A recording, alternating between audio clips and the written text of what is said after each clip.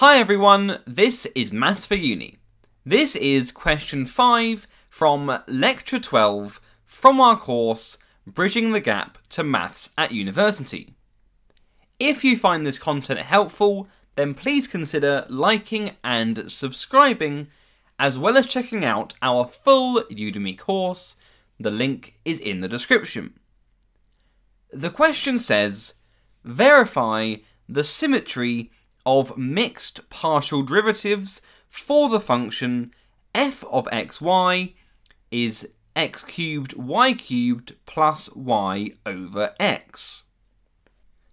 To verify the symmetry of mixed partial derivatives, we need to check that for this function f, we have d squared f by dx dy as being the same as d squared f by dy dx, i.e., it doesn't matter which order you differentiate f in, x then y is the same as doing y then x.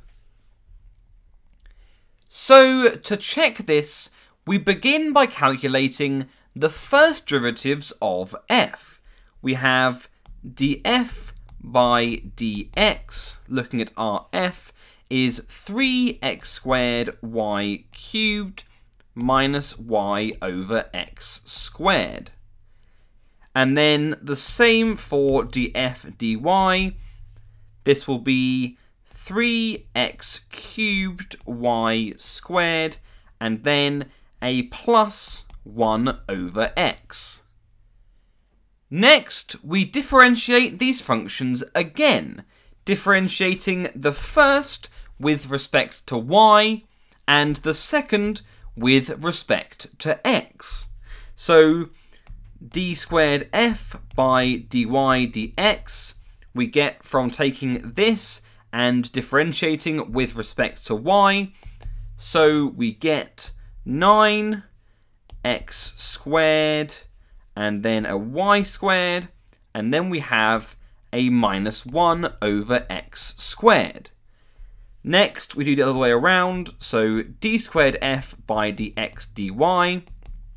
We take this thing here and differentiate with respect to x, and that gives us 9x squared, y squared, and then a minus 1 over x squared. So indeed, these two things are equal, and so we have the symmetry of mixed partial derivatives. This result here is true. This result is true in more generality. For functions of even more variables, we can change the order of partial derivatives and get the same result provided that some conditions are satisfied. If you've enjoyed this content, then please consider liking and subscribing, as well as checking out our full Udemy course. The link is in the description. Thanks for watching, and goodbye for now.